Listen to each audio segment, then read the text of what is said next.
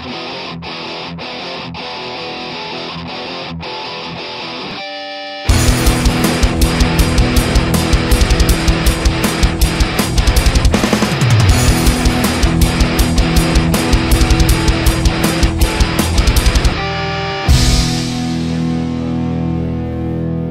y'all, it's Heel Heat time. Hi, everybody, and welcome to Heel Heat. My name is George Coles, and this is our TNA show for the week. Let's jump right into it. First off, we're going to start with the so so segments of the week. Uh, basically, they weren't bad, they weren't good, they were pretty much forgettable. Well, we only had one segment I felt that fell in this category, and that was the uh, Dixie Carter, Bully Ray, and Bobby Roode segment for Dixie Carter being off of TV just a few weeks after losing control of the company, it didn't make sense for her to come back this early. Um, the feud doesn't need her. You got two of the better guys in TNA. They could build their own feud. I mean, to me, it was just unnecessary. And Dixie's such a bad talker. I almost put this in the bad section because she's horrible at it. Um, but it got saved a little bit with the interactions of Bully Ray and Bobby Roode, which are always good. Next up, the bad portions of the show. And this one really pains me because this is a feud and an angle that I've rather enjoyed. Um, but this week, it was very, very kitsch, very uh, corny, I guess you could say would be the right word, and I don't mean Jim Cornette. Uh, we had Christy Hemme coming out to prov- prove her commitment to Samuel Shaw. Samuel Shaw comes out, she flirts around with him, tells him to close his eyes, which brings out Mr. Anderson, who hits him with a mic check, tries to take him and put him in a put him in an institutional van or whatever the hell it said just a little bit corny in my life for my liking. I, I enjoy this feud. I enjoy what it's doing for both Anderson and, and Shaw. I, I think they're good working together. Uh, Shaw is a breath of fresh air on the TNA show. Something totally original, something that we've never seen before. Um, but I just, uh, I don't know. Um, to me, it just, I, this this segment, other the other stuff they've done together, I thought's been really good. This segment, not so much. Now, coming off of that, we're going to go into our question of the week. Question of the week last week was: When did you start res- watching wrestling or watching TNA, and why? First answers from our friends: uh, Zombies forty. For me, I started watching back in Impact back in 2006. Samoa Joe, AJ Styles, Daniels were the reasons I started watching TNA. I thought they were awesome.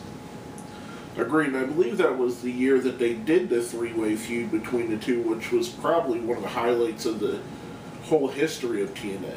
So great, great era to come in on. Uh, next is from our friend Silver84.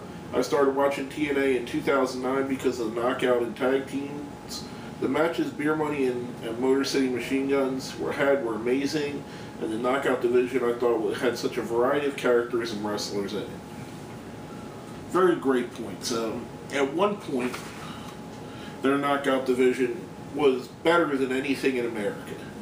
Um, their tag team division was better, it was the best out of any major company going all the way back probably till the 80s in Jim Crockett promotions or the early 90s with WCW, which was a carryover from Jim Crockett. Um, I started watching from the beginning. I was there on the first pay per view. And uh, the reason I did is because the guys that I liked that didn't come over to WWE in the WCW merger, or buyout, I mean, were there. I mean, you had your Jeff Jarrett, you had Scott Hall, you, know, you had the younger talent like AJ Styles and James Storm who were just starting to get on the WCW television just before the buyout, and it it gave a different thing. And it was really the very the beginnings, the uh, month weekly pay per views of TNA era were really just a kind of the hit and miss thing, but you could tell that they were going on the right path. The stuff that was good was really good, like the X Division, tag team like the America's Most Wanted, AJ Styles, Low Ki, um, Christopher Daniels. I mean, they the they had a lot of stuff there. They had a lot of the pieces that would make TNA what eventually became. And you could see it really early. It was just a very raw product. And as they worked it out and got better and better and polished it, it came to be in about, I would agree, about 2006, 2007 was the pinnacle of TNA. Um, it's been better recently, and, and I'm going to continue watching it because, to be perfectly honest with you guys, I watch any wrestling that comes on. Um, if it comes on my DirecTV box, and I either watch it or I DVR it and watch it later. Um, whether it be I get a there's a show called Prime Wrestling out of Ohio that I watch. Um, there was a, a TCW traditional championship wrestling that they were running for a little bit. I think on I Mav TV. I don't even know what the name of the channel was. Uh, the TNA stuff, the Ring of Honor stuff, the WWE stuff. I'm a I'm a wrestling junkie, so any way I could get my fix, I get my fix. I just wanted to see what other people, what brought you in, why did you start watching this product. But there's some good answers there and some good good points. I mean, at its best, TNA is a, a great alternative for WWE. At its worst, it's a pale imitation of WWE. Now, coming off of that, we're going to go into our question of the week for this week. And that's which TNA wrestler needs to be repackaged? We all have seen it, they do it tons and tons of times, whether it's a heel turn, a face turn, or just a gar- character change altogether. Let us know who you think. Hit us up on our Facebook, hit us up on Twitter, put it down where? Down there in the comments. Right down there, that little box. Now we're going to go into the good portion of the night. The first thing I, I rather enjoyed was the Gauntlet Battle Royal, which had James Storm, Gunner, Bobby Roode, Bully Ray, Ethan Carter III, Bobby Lashley, Abyss, Eric Young, Sanada, and Willow, all vying out for to be the number one contender for the pay per view for the World Heavyweight Championship. In a surprise win, Eric Young picks up the win. Now they're building him up recently as a credible guy. Um, I, a few a few weeks ago, he beat Samoa Joe, or actually Samoa Joe beat him. But you could see where, and the, the announcers even pointed it out that Joe's shoulders were pinned during the the uh, rear naked choke. So technically, Eric Young could have picked up that win as win as well. I liked what they've been doing with him. Uh, Eric Young's a guy I've always been a fan of. Uh, I, it's going to be hard for them to pull the comedy gimmick that they've run with with him off of him. But I think if there's anybody that can do it, it's him. He's got the in-ring ability. He's got the connectability with the crowd, and I think he could be a guy that, like I said with the repackage a minute ago, a more serious repackaging of Eric Young could be could be a moneymaker, a severe moneymaker for the company. Now, coming off of that, we had Eric Young calling out MVP and saying, I don't want to wait to the pay per view. I'm on a roll. I want to do it tonight. MVP agrees, gives him the match. Him versus Magnus. If Magnus gets disqualified or counted out, he loses the title. If anybody interferes on Magnus's behalf, he also loses the title. So basically, all of Magnus's advantages that we've seen him use to keep the world title are now gone. Then we go into our Divas title match. We had ODB versus Gail Kim versus Brittany versus Angelina Love. Angelina picks up the, the win with her and uh, Velvet do a little bit of cheating. It is what it is. You got to build Angelina back up to be a serious contender for the for the title, and obviously that's what this four way was for. It was a one number one contenders match for Madison Rayne's title, which is going to set up a better feud anyway than any of these other girls, in my opinion. As much as I like wrestlers like ODB, Gail Kim, and I'm liking what I'm seeing from Brittany so far. The feud is Angelina Love and Madison Rayne. It makes more sense. It has more historical significance. Now, coming off of that, we have a tag title match. The American Wolves versus DJZ Zema Ion, substituting for Robbie E., who missed his flight, and Jesse. The match ends with a DQ when Robbie E. comes out and interferes in the match. Shocked and surprised that Robbie's there. I like what they're doing with these guys. I, I'm I'm pleasantly surprised at how much I'm enjoying the bromance and their whole gimmick and their angle. Uh, the American Wolves, they're or just the Wolves now. I'm sorry. I keep sorry about that, guys. I keep wanting to call them the American Wolves.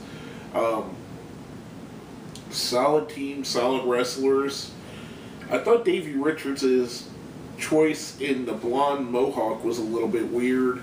It kind of reminded me of Techno Team 2000 that's a shout out to Laura Lyons, who was a big techno team fan. Um, but yeah, it was just a weird, strange thing.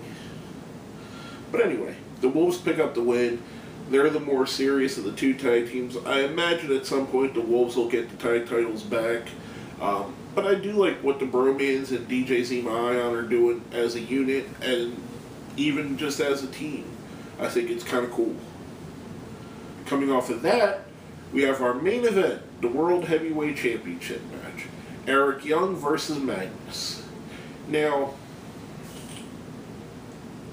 I'm going to talk about the match a bit, but I'm going to talk about what we've been reading on the internet since this happened, and all your dirt sheets and your message boards and whatever you may go to. Everybody's comparing the Eric Young winning as TNA trying to replicate Daniel Bryan winning the World Heavyweight title. I see it as a total different animal. Of course, you got some similarities with size, build, and facial hair. That's obvious. However, I think TNA, this was more of a.